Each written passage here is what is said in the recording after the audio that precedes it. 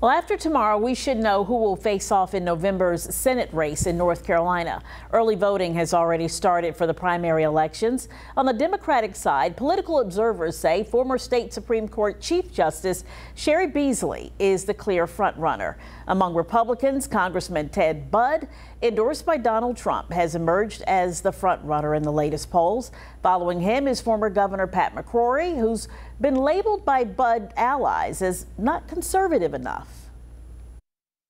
So I have a track record of accomplishment, of conservative accomplishment, where uh, Ted Budd has no record to defend. And in fact, he refuses to defend them because he refused all four TV debates statewide. A Budd spokesperson tells 13 News Now McCrory hides in Charlotte to avoid answering tough questions about his record of appointing pro CRT pals to positions of influence in state government.